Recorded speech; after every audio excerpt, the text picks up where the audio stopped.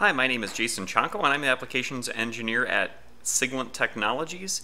In today's video, we're going to look at a new firmware enhancement for the SDS 1000X-E series of oscilloscopes. This firmware revision is 6.1.37R2 and was released in mid-August of 2021. This particular feature, uh, or this enhancement, is uh, one of the main enhancements, and we'll take a look at some of them as we go along here. Uh, but the main enhancement is going to be a data logging feature. And with normal oscilloscopes, every time you get a trigger event, it's going to collect a certain amount of data and send that to the internal memory.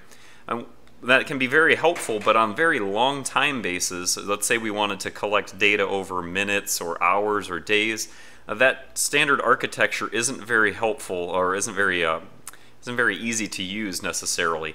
And so our firmware designers have gone to, uh, to some lengths here to build a data logging feature, and that's going to allow the oscilloscope to write directly to a USB stick or to the internal memory so that we can acquire data over very, very long time periods. So I'm just going to go through some of the features. Uh, it's very helpful if we're going to be doing trending or you want to see the events over longer periods of time. Again, if it's minutes, hours, or days, this is going to be a very helpful feature for you and collecting that information. So mimicking a, a long, longer uh, output supply, I've just got one of our SDG 800s here. It's just going to be outputting a square wave sweep. I'm going to insert a USB stick. Uh, so I've already updated the firmware on this particular unit. It's going to insert that. It's a FAT32 formatted uh, stick.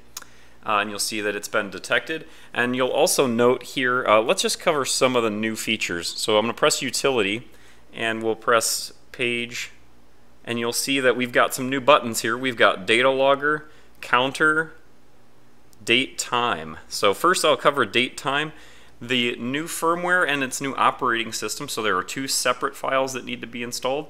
Uh, but once you've installed those, you'll see this, uh, this timer. We've got date time. That can be pulled, or we can manually set the date time and time and confirm that and it's, it's going to remind you it's going to be reconfigured after the start. So the X-E series of oscilloscopes do not have um, a real-time clock and they don't have the a way to store that after power down. So every time we set the date and time, if we power cycle the instrument, we're going to have to reset it.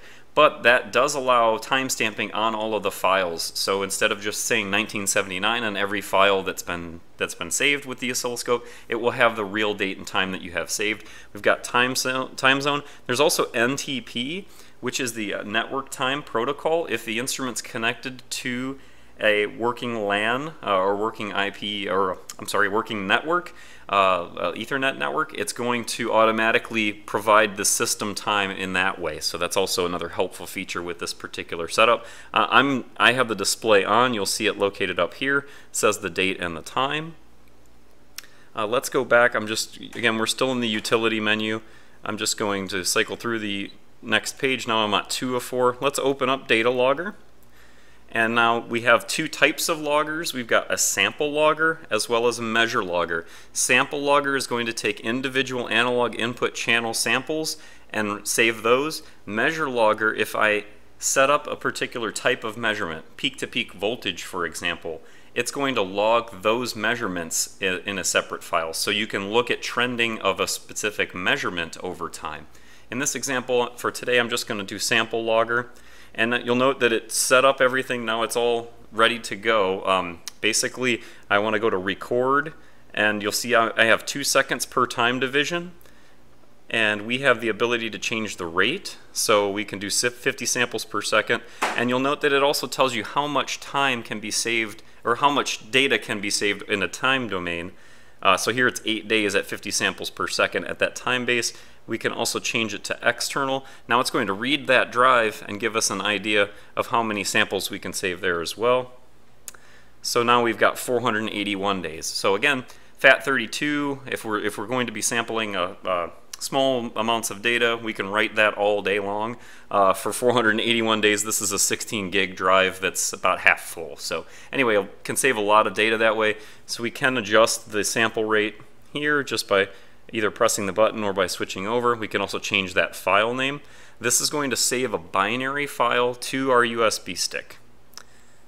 Um, so it's all ready to start. I'm just going to turn on my, well, I'll start the acquisition. You'll start to see that the data will start to collect. Now I'm just going to turn on my source and we'll let that run for a period of time. What I'd like to also show is some of the areas here, it's telling us how much time has recorded, our start date, and how much is still recordable, so our elapsed time until that memory stick is full. And again, we have that timestamp. It's also telling us the number of samples that we have up in the right-hand corner. So as it collects data, it's also going to automatically scale. So just kind of let it run its course here for a few minutes. You'll see that now it's changed to four seconds per division. We'll let it go a little bit longer. Now, so we could let this run again for days and days if we have enough storage. We can stop the oscilloscope at any point in time. Now it's going to write that data to the USB stick and we're going to, uh, as it formats everything and gets it all set, should be quickly coming back to life here in a sec. And now we're all done. So now it's written this file, the binary file, directly over to that USB stick. We can also recall that file and we can uh, we can adjust the horizontal time base. We can measure it with cursors if we want to. So we can recall any of those files that have been saved. We can always go back as well. Uh, and we can zoom around the center or we can zoom around the right side uh, and view all. So now we can go back to the original zoom. So again, in this way, we can save a lot of data. We can transfer it over to that USB stick directly and do that over long time periods. Again, for long time bases or long, long time duration measurements, really nice acquisition capabilities. Instead of building a data acquisition system to do this, you could just grab your, your simple oscilloscope, plug it in with your, with your sensors, set up your horizontal time base and the sample rate that you need and hit go. Should be all set. Also in this firmware revision there is a there is a tool uh, with with the X-E's, the four channels. There's a web website uh, or a web browser control embedded inside the oscilloscope itself is a binary to CSV tool. What that allows you to do is pull that binary to CSV executable to your local machine, your computer that's driving, and any data that you collect in this binary file format, including these new logging files, can be unpacked from binary and converted to CSV if you want to manipulate them even further.